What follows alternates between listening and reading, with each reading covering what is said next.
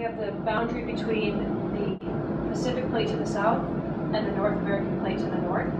The Central Alaska Range is located here on the order of 500 kilometers from the plate boundary. The location of this far field Jacana mountain belt is a question that's puzzled geologists for decades. I'm going to show now the three-dimensional thermal structure and viscosity structure, our temperature slices,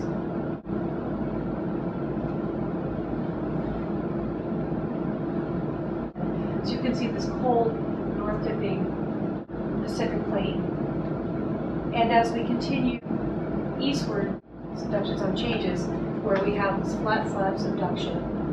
And the Central Alaska Range is located just to the north of this flat slab region.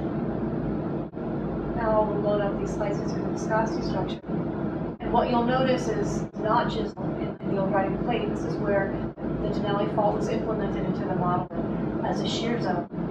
One of the things that these models investigated was the relative role of the flat slab subduction and this Denali fault. What I'm going to pull up now is an isosurface of viscosity. And this notch here is outlining the Denali fault.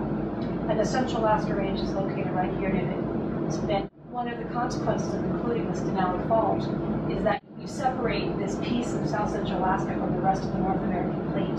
So this piece of Alaska has been called previously the Wrangell Block, and uh, GPS data and geologic data indicate that it's moving semi-independently from the rest of the North American plate. And what these models show is that the motion of this Wrangell Block is being driven by the motion of the flat slab subduction.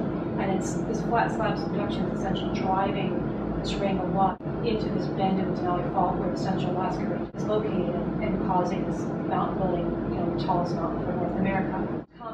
Flat slab subduction and Denali Fault that can explain this question of the Central Alaska Range that has puzzled geologists for decades.